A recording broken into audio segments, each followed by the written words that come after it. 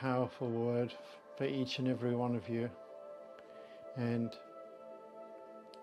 it started actually when I was in my local church on a Sunday and there was a worship song that was playing and it was talking about letting the fire come down, letting the fire come down. And during that worship, I really connected with God and I started to smell smoke.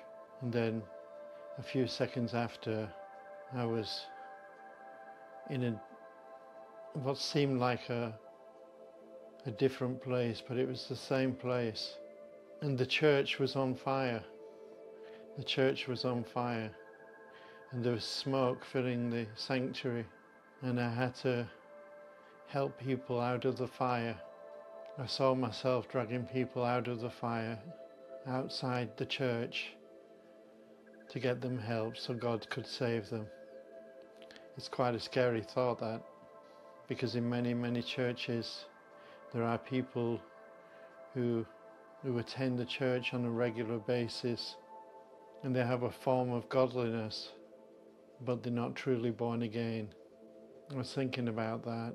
I knew it was a spiritual vision I was getting from God as I plugged into the spiritual realm that people, even in churches throughout the world, needed Jesus to save them.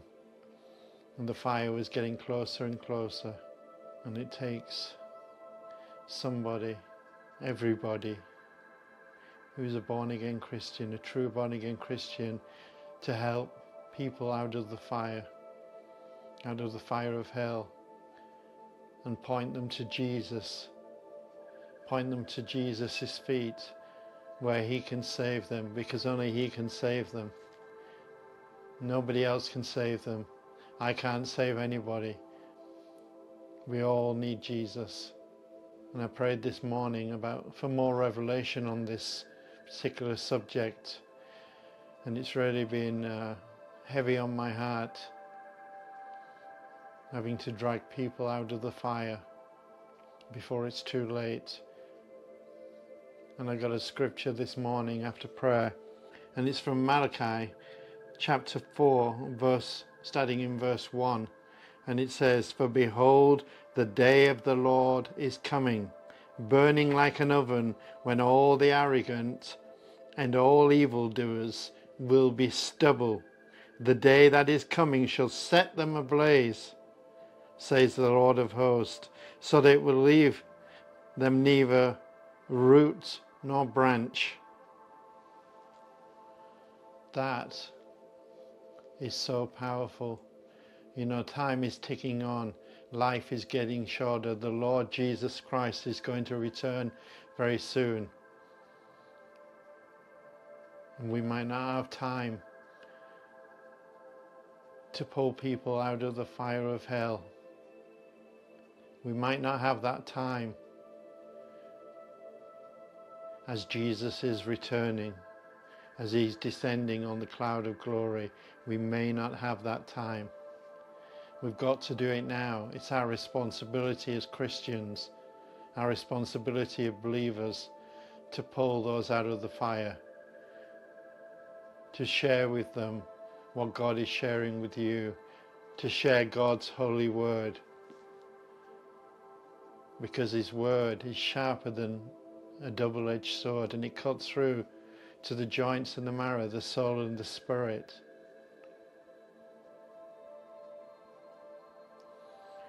And you know this this hope in this scripture as well, because if I continue reading verse two, it says, But for you who fear my name, the Sun of Righteousness shall rise with healing in its wings. You shall go out leaping like calves from the stall, and you shall tread down the wicked, for there will be ashes under, your so- under the soles of your feet on the day when I act, says the Lord of hosts. For behold, verse 1, the day is coming, burning like an oven, when all the arrogant and all the evildoers will be stubble. The day that is coming shall set them ablaze, says the Lord of hosts, so that they will so that it will leave them neither root nor branch. But for you, for you who fear the fear my name, the Sun of Righteousness shall rise with healing wings. Amen. You shall go out leaping like calves from the stall, and you shall tread down the wicked, for they will be ashes under your soles, under the soles of your feet, on the day when I act, says the Lord. So you will be you will have a new spring in your step. You will have that renewed energy. You will have a new life in Christ Jesus. But for the wicked and those who are, who, you know, who have a form of godliness, but they're not truly saved, they will go to the fire. Their root and their branches will be burnt to ashes, and all believers will walk on those ashes and tread them underfoot, says the Lord of hosts. For behold, the day is coming, burning like an oven. You see, when Jesus Christ comes back, He's not coming back to say, I love you. He's coming back in judgment. He's coming to judge the earth of all unrighteousness. But for those who are truly born again, they will have their lives renewed in a twinkling of an eye, will be giving new supernatural bodies and will receive eternal life. So woe to those who have rejected Christ Jesus. Woe to those who think they can do life on their own without God.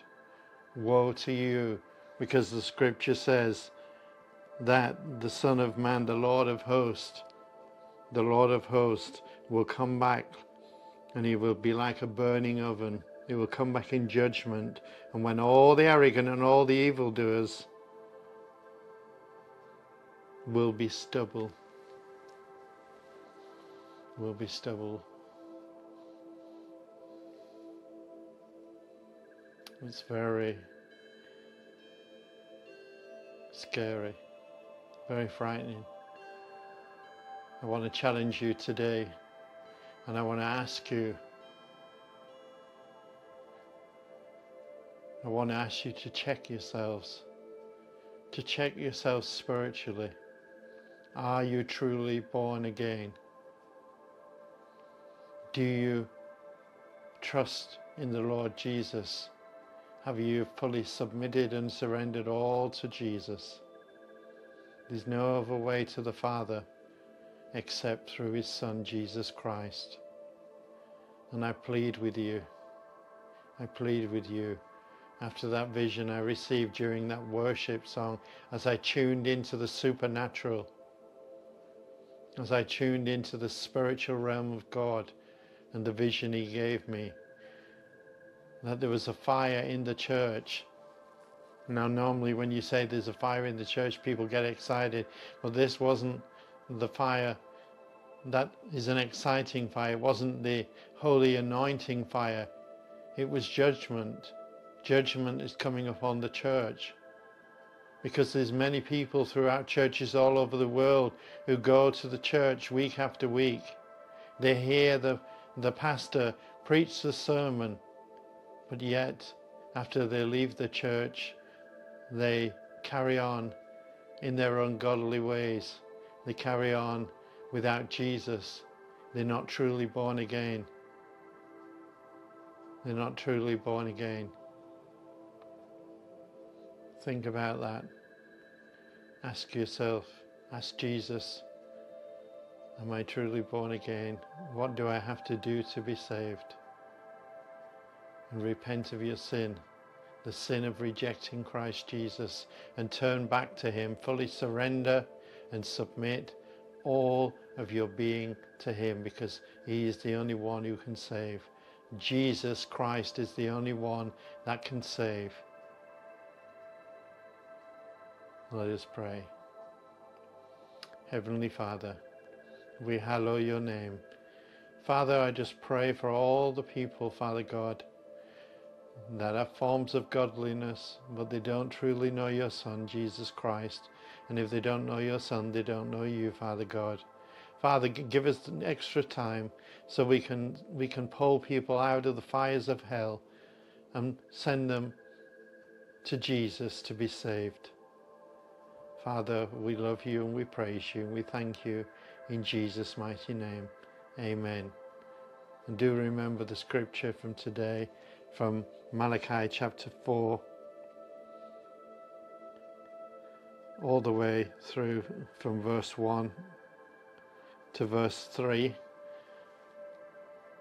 Ponder upon that, think about it, meditate upon it, and check yourselves and ask yourself the question Am I truly saved?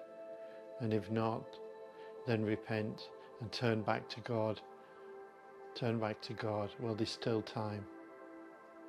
My name is Pastor Gareth Lavell, and I'm coming to you from Cloud Church TV, based in Manchester, United Kingdom. And I hope and pray that this video blesses you. And I pray that you will take action and you will take this message seriously because it is for someone like you out there. May not may not be you maybe one of your family members maybe a friend that you know but check yourself first.